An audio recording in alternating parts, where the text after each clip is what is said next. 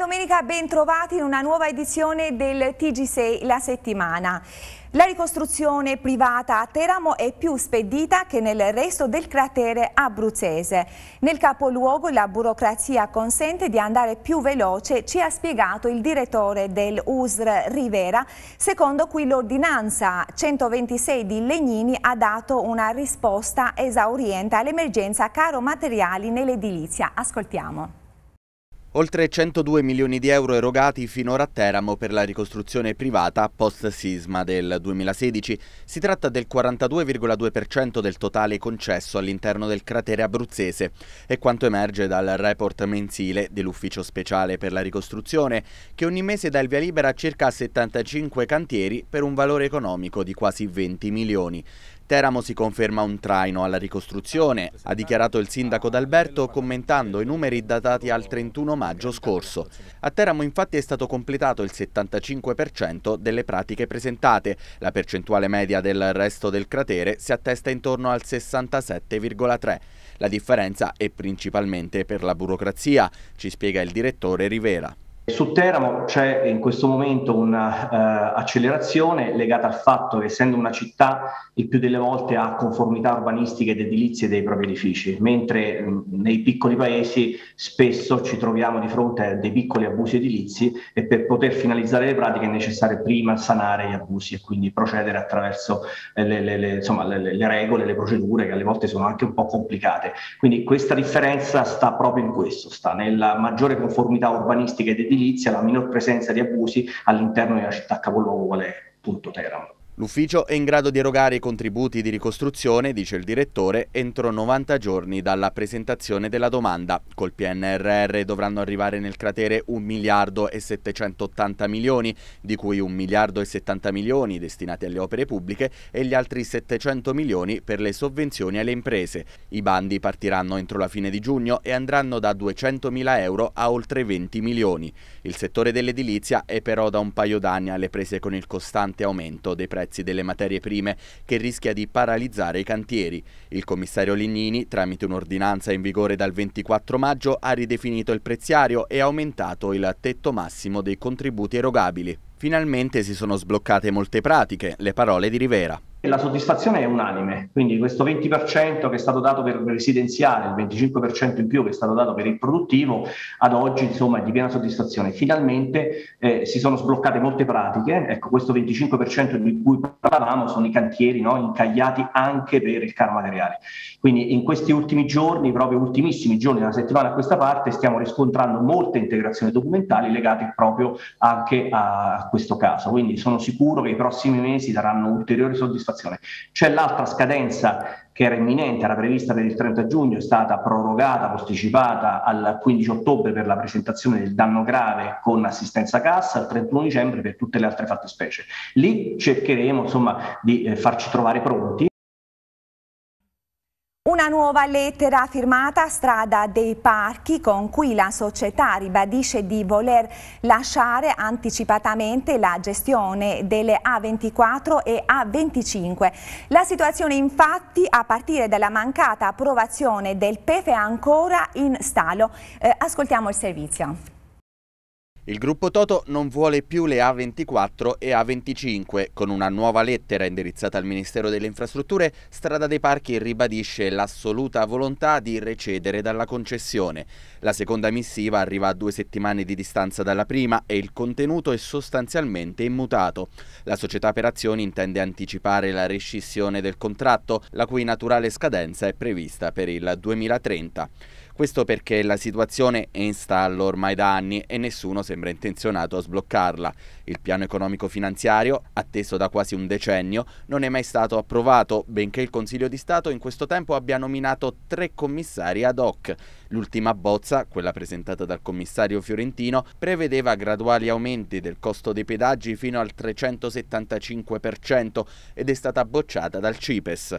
La mancanza del PEF rimanda a tutta una serie di lavori, a partire dalla messa in sicurezza delle infrastrutture. Quella antisismica, le A24 e A25 sono ritenute arterie strategiche dal sisma del 2009, ma anche quella per l'attraversamento degli animali selvatici, di primaria importanza per delle autostrade che percorrono dei parchi nazionali e intanto in quattro procure sono in corso delle inchieste per la mancata manutenzione dei viadotti.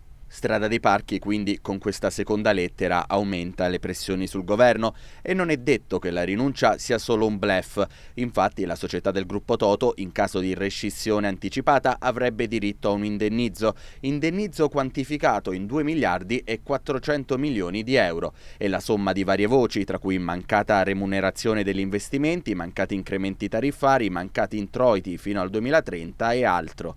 Sullo sfondo una condizione economica già di per sé poco idilliaca. Tra costi di manutenzione e oneri Covid non rimborsati, il Ministero è in debito con Strada dei Parchi per oltre 300 milioni, potrebbero essere 430 entro fine anno.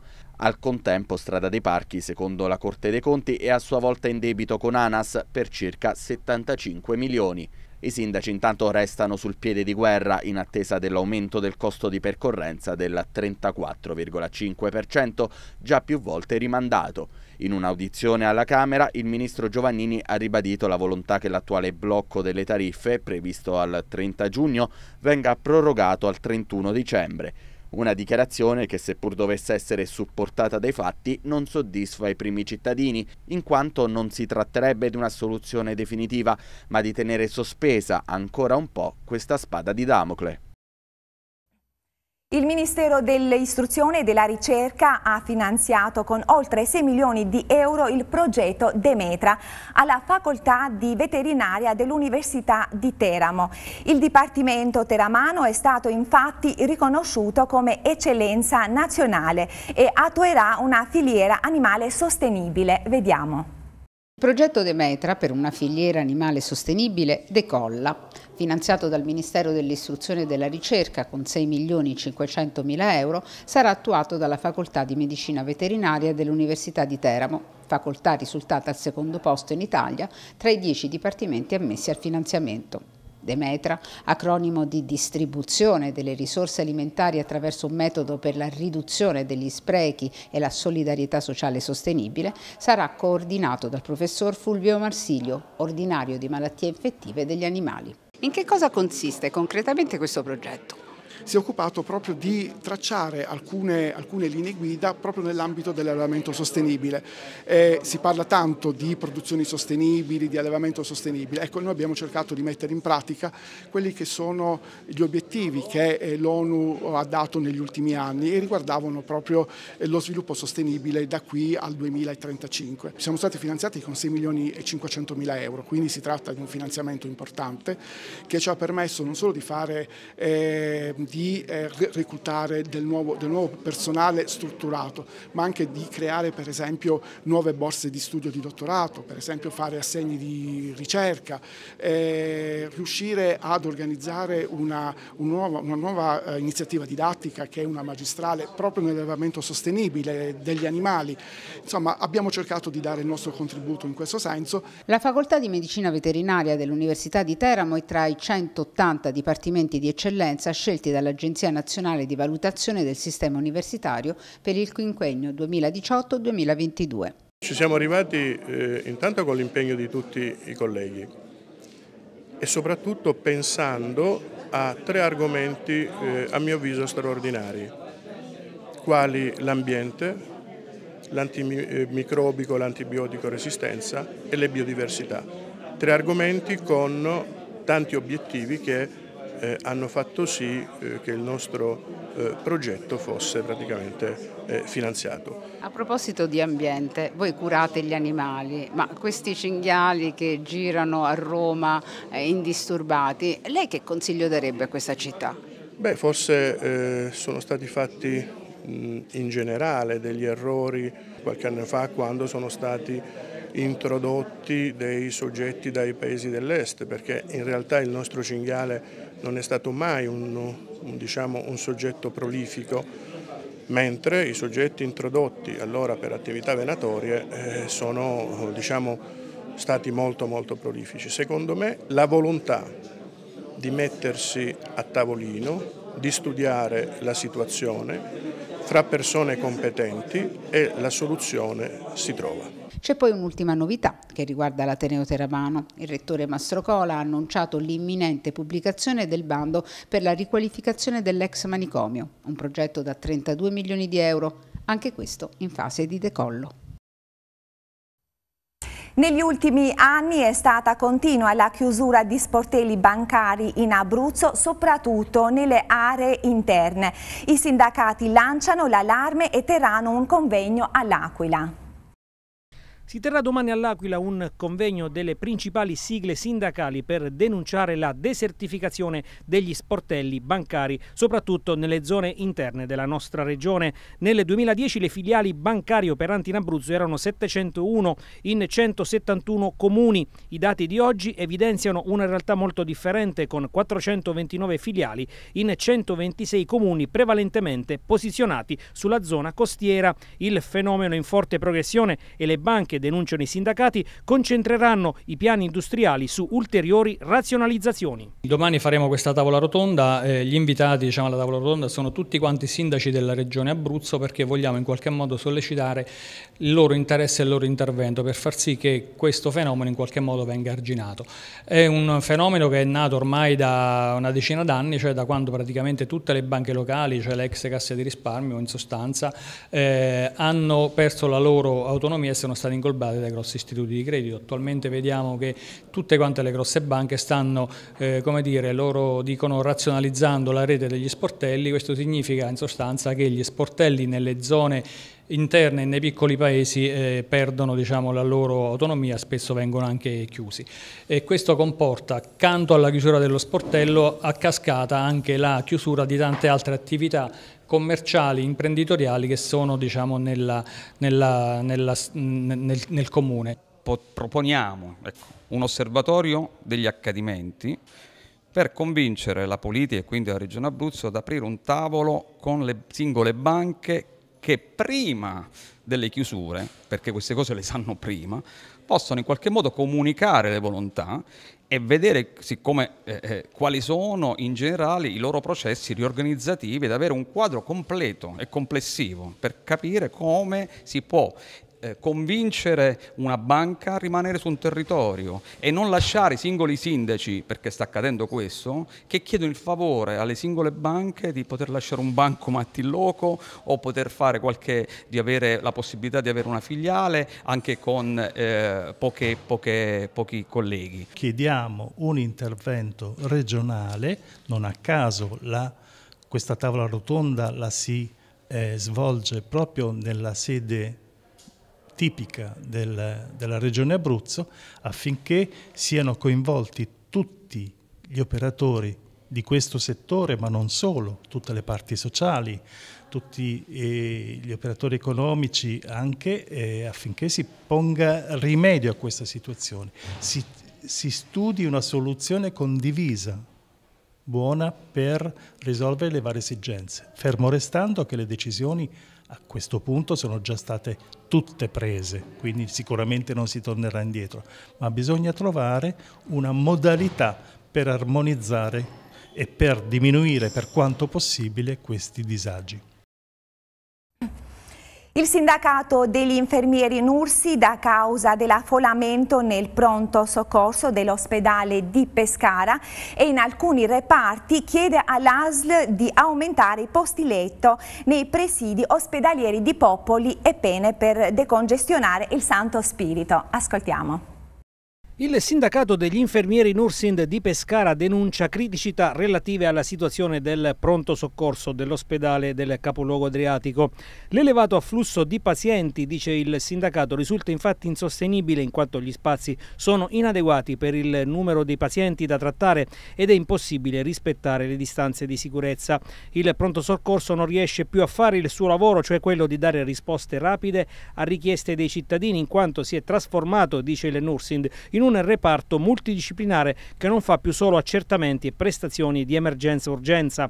Vista la carenza di posti letto nei reparti del presidio ospedaliero di Pescara, dove spiega il sindacato mediamente e giornalmente stazionano 70-90 pazienti, si chiede il potenziamento dei posti letto presso gli ospedali di Popoli e Penne per poter trasferire i pazienti che non riescono a trovare posto all'ospedale Spirito Santo. Adesso che si avvicina l'estate ci sarà un grande aumento di afflusso al pronto soccorso.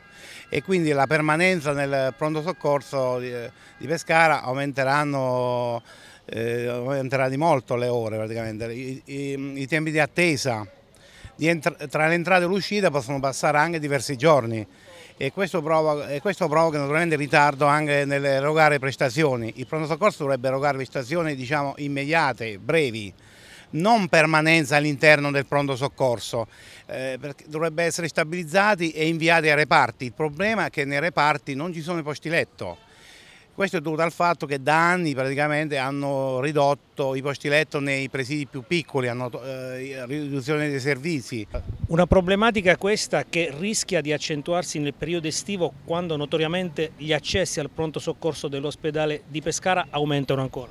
Sì, aumentano ancora anche perché verso l'estate si va incontro eh, più a incidenti stradali, quindi incidenti di moto, eh, i pazienti arrivano anche da fuori ASL di, di competenza nostra, quindi da Chieti, da Basso Chieti, quindi verso, da Vasto, San Salvo e all'interno. Ma il problema principale del pronto soccorso attualmente è quello del, diciamo, del, mm, dell'ingorgo dei pazienti che non riusciamo a ricoverare nei reparti e quindi cioè, oltre a svolgere il pronto soccorso svolge oltre all'attività di emergenza-urgenza svolge anche attività di reparto quindi pazienti, quindi assistenza ai pazienti che rimangono da noi per giorni. Il consigliere regionale del Movimento 5 Stelle Domenico Pettinari che pochi giorni fa si era incatenato davanti al pronto soccorso dell'ospedale di Pescara è tornato a manifestare al fianco di alcuni cittadini anche loro incatenati per denunciare una situazione definita dallo stesso Pettinari drammatica. Al grido di vergogna, vergogna protesta questa mattina di alcuni cittadini che si sono incatenati dinanzi al pronto soccorso dell'ospedale civile di Pescara al fianco del consigliere regionale del Movimento 5 Stelle Domenico Pettinari per manifestare contro le condizioni del presidio di pronto soccorso dell'ospedale cittadino. Sì, perché è una situazione infernale, pronto soccorso scoppia, ogni giorno ricevo centinaia di telefonate di persone che non ce la fanno più, persone parcheggiate da tre giorni in attesa in pronto pronto soccorso, tre giorni d'attesa, voi potete immaginare cosa, perché tutto questo? Mancano i medici, mancano almeno 10 medici in pronto soccorso. Io ringrazio il personale medico, infermieristico e operatori sociosanitari perché non è la colpa loro, è la colpa di una programmazione politica errata e sbagliata della sanità. Servirebbero nuovi medici, quindi incentivi per il personale medico, personale sanitario in pronto soccorso, utilizzare l'istituto del precetto, ma soprattutto non depotenziare più gli ospedali minori. Hanno soppresso qualche giorno fa un reparto, la UOS UOS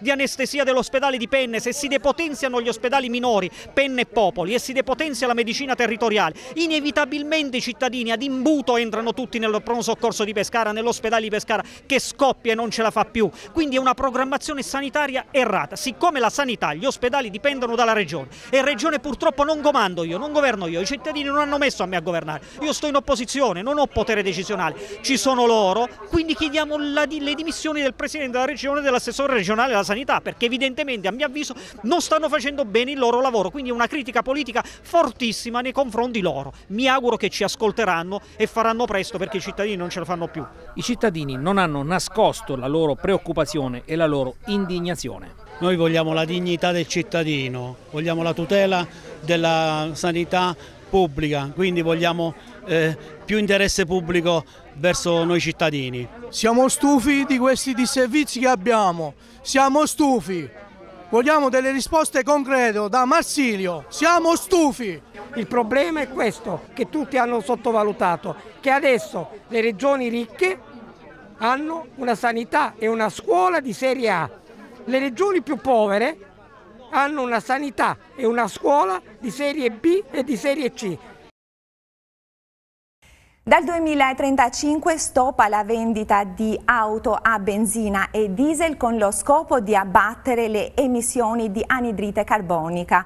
Questo però avrebbe una ricaduta su tantissimi posti di lavoro anche nella nostra regione. Ascoltiamo tagliare del 55% le emissioni di anidride carbonica e raggiungere la neutralità climatica entro il 2050. Questo è l'impegno del Parlamento europeo che ha dato l'ok allo stop alla vendita di auto a benzina, diesel e GPL dal 2035, una scelta che andrebbe ad incidere pesantemente sulla manovalanza impiegata negli stabilimenti produttivi. A rischio in tutta Italia infatti ci sarebbero 70.000 posti di lavoro nell'industria automotive legata alla produzione di componenti che non serviranno per l'elettrico. Ricadute negative sono previste previste anche per la nostra regione in difficoltà ormai dal 2021. Ma eh, sull'automotive già ci sono segnali di rallentamento piuttosto eh, significativi a partire dal 2021 e probabilmente questo primo trimestre del 2022 i cui dati saranno pubblicati credo in giornata da parte dell'Istat eh, segneranno io credo un ulteriore eh, problema per quanto riguarda questo settore che io considero il settore fondamentale dell'economia abruzzese perché tutti i dati dati che noi abbiamo a disposizione segnalano un'automotive che addirittura è al quarto posto come incidenza sul totale a livello nazionale, dopo le grandi regioni, Piemonte, Emilia, Lombardia. C'è una cultura manufatturiera significativa che eh, sostanzialmente produce, ha prodotto una crescita eh, direi eh, fondamentale per questa regione. A questo punto il discorso diventa molto, molto più complesso perché siamo in una situazione di instabilità, siamo in una fase di aumento notevole delle materie prime, eh, siamo in, al di là delle materie energetiche e soprattutto siamo in una fase inflazionistica e eh, i segnali che provengono anche dalla Banca Centrale Europea sono quelli di un aumento dei tassi di interesse, il che potrebbe avere ripercussioni eh, sul progetto diciamo così, di rilancio della nostra economia dopo la pandemia e, e all'interno di questo grande avvenimento che è il conflitto tra Russia e Ucraina. Tornerà in mare la prossima settimana la marineria pescarese. Questa è la decisione emersa dopo i numerosi incontri avuti a livello nazionale. I problemi però restano tutti sul tavolo.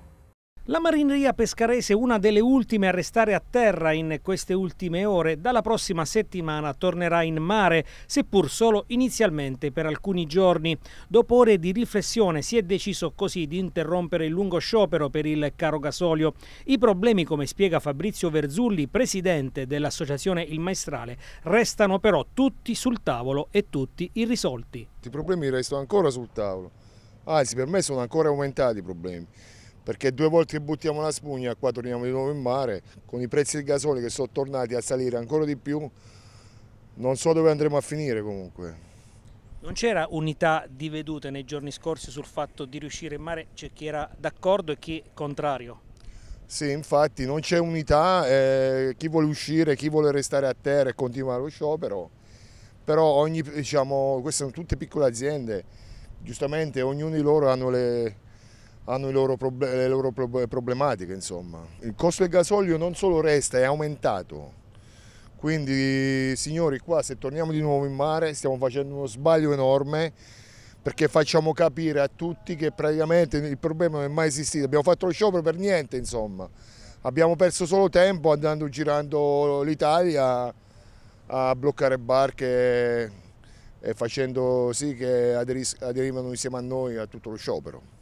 Il presidente dell'Associazione Armatori di Pescara, Francesco Scordella, rilancia ancora una volta l'idea del fermo biologico anticipato per una categoria sempre più in ginocchio. Noi ci siamo comportati degnamente tutti quanti, quindi non abbiamo fatto ostruzionismo in città e abbiamo come si dice, rotto le scatole a qualcuno che andava a lavorare per bloccare come si, si fa di solito quando c'è una manifestazione. Il rammarico mio è che le istituzioni eh, purtroppo non ci hanno dato una risposta tuttora, fra un mese e mezzo c'è il fermo biologico, veniamo da una pandemia, è una situazione talmente drammatica, io capisco che tutte le aziende stanno col fiato sospeso perché questo fatto del ringario energetico, ma noi viviamo di quello, il gasolio per noi è, è come il sangue per un essere umano. A queste condizioni qua veramente non sappiamo più cosa fare, non abbiamo le risposte, col senatore D'Alfonso oggi c'è una riunione in videoconferenza con le altre cariche dello Stato, quindi si è adoperato per far fronte a questa situazione. Speriamo che io oggi chiedevo a gran voce, visto che stiamo fermi in questo modo senza fare niente, vi faccio scontare un fermo biologico, che secondo me era, era una soluzione, non è la migliore, però invece di stare fermi in questa situazione così senza avere niente, scontavamo questo fermo biologico e poi fra 50 giorni capaci che le cose potevano cambiare, il governo aveva il tempo per fare tutto quello che doveva fare dei provvedimenti. Ma se stiamo fermi così e fra un mese e mezzo c'è il fermo biologico, altri 50 giorni, queste sono aziende che non si rialzeranno più. Avremo importazione estero e quindi stiamo favoreggiando il mercato estero e questa è la, la risposta che stiamo aspettando da questo governo, ma ho poca fiducia perché veramente è brutto dirlo, ma ci hanno preso in giro perché è troppo tempo senza risposta. Adesso cambiamo pagina e parliamo di sport, ancora pochi giorni e si conoscerà il nuovo allenatore del Pescara. In pole position Zdenek Zeman che tornerebbe per la terza volta in riva all'Adriatico, una scelta che nel caso sarà destinata a far discutere. Vediamo. Prosegue il conto alla rovescia che porterà alla definizione dello staff tecnico del Pescara e prima ancora all'ingresso dei nuovi imprenditori nella compagine sociale. A metà della prossima settimana c'è la deadline fissata dal presidente Daniele Sebastiani e l'attesa principale è quella della scelta dell'allenatore visto che per la figura di direttore sportivo Daniele Dellicarri è già all'opera in attesa dell'annuncio ufficiale. Ormai non ci sono dubbi che il prescelto per la panchina sia Zdenek Zeman, tutto sta nella volontà del Boemo di dire sì alla proposta di Delli Carri. Solo in caso di no si virerebbe su altri profili. Il principale è quello di Alberto Colombo, che dopo l'ottima stagione a Monopoli vorrebbe una chance in una piazza di prestigio, quale Pescara, mentre si assottigliano le speranze di una B. Ascoli e Cosenza sembrano guardare altrove ed ora è accostato alla Carrarese. Zeman artefice della splendida promozione in A nel 2012, poi le cose sono andate male nella stagione 17-18 che però aveva premesse diverse. Il Pescara retrocesso dalla A si portava dietro contratti onerosi ed una rosa abnorme con cui era difficile lavorare. Quel Pescara non entusiasmava, ma furono le frizioni che il tempo non sembra aver lenito del tutto, con Sebastiani a portare all'esonero, anche se poi le cose peggiorarono con eh, la promozione di Epifani e solo l'avvento del normalizzatore Pillon evitò il patatrack finale fermi restando i dubbi avanzati nei giorni scorsi e che lo stesso allenatore potrebbe e dovrebbe valutare, Zeman d'altro canto potrebbe essere attratto dal fatto che su questa rosa invece ci sono margini di manovra ben più ampi tra giocatori via per fine prestito, quelli a scadenza e alcuni baby che saranno ceduti per alimentare il budget, Sorrentino e Veroli in particolare, l'organico andrà in buona parte ricostituito puntando sui giovani. A tal proposito valutazioni andranno fatte su quelli del Pescara, Chiarella e Blanuta potranno avere ancora più spazio, così come Delle Monache che potrebbe essere ceduto ma comunque resterà in prestito in biancazzurro. E quelli che rientrano dai prestiti, Gennaro Borrelli, Nicolas Belloni, Milos Bocic, più o meno funzionali al gioco di Zeman. Rientrerà anche un signor come Michael De Marchi e anche in questo caso si verificherà l'adattabilità al progetto tecnico. Dopo la nomina di Massimo Chierchia ad amministratore unico del club in casa Teramo sono iniziate le manovre per concretizzare un progetto che dovrà attuare anche Davide Ciaccia e che possa portare all'iscrizione. Ne ha parlato il sindaco di Teramo Gianguido D'Alberto sottolineando che ora ognuno dovrà fare la propria parte. Ascoltiamo. Ieri si è messo un punto fermo si è dato, quindi si è individuato il soggetto coagulatore, utilizziamo questo termine, delle, delle risorse da individuare da mettere a disposizione dell'iscrizione, stiamo lavorando tutti, tutti, ciascuno per il proprio ruolo, eh, assolutamente per il raggiungimento di questo, di questo, obiettivo che deve essere l'iscrizione della, eh, della nostra squadra in serie, in serie C il passo di ieri, ripeto, è eh, un'opportunità un per aprire una nuova fase e che come giustamente ricordava lei è una fase che deve avere una durata non eh, limitata o ristretta ma eh, assolutamente brevissima nel senso proprio in termini, in termini, temporali perché la scadenza dell'iscrizione costituisce un, un, termine che si avvicina sempre, sempre di più, quindi andiamo, ciascuno faccia la sua parte, questo è molto, molto importante, eh, si senta responsabile di questa fase, di questo, di questo momento, iscriviamo la squadra e poi ne apriremo un'altra di fase nella quale appunto costruiremo e definiremo il, il futuro della Teramo Calcio in un momento così difficile con le vicissitudini che, che abbiamo vissuto ma con una salvezza che abbiamo conquistato sul campo. Lei sta eh, cercando, per quanto comunque competa il suo ruolo, le sue possibilità di, di accentrare delle forze nuove intorno al Teramo? Ma è un'attività che ho fatto, che ho posto in essere fin dall'inizio, non senza difficoltà, insomma, un momento non semplicissimo, eh, lo ho fatto con i commissari, con eh, i componenti appunto del, con gli organi del Tribunale, eh, continuerò a farlo in questi, in questi giorni con, una, eh, con, un filo di speranza sicuramente eh, più, più, forte, più solido, ma che dobbiamo alimentare nelle prossime, nelle prossime ore. Quindi l'appello che continuiamo a fare da, da, tempo lo dobbiamo ribadire, il traguardo è più vicino rispetto, eh, rispetto a prima, quindi lo sforzo è anche, anche minore, facciamo ciascuno la propria parte. Quindi è più ottimista rispetto a qualche giorno fa? Eh, io come ho detto qualche giorno fa, più si avvicina alla scadenza e più l'ottimismo eh, diciamo così, si riduce. Però sicuramente il passaggio di ieri quantomeno ha eh, diciamo così, delineato una strada, ha individuato degli interlocutori eh, che in questo momento hanno il pallino in mano. Con questa notizia termina l'edizione del TG6 La Settimana. Grazie di averci seguito, buona domenica.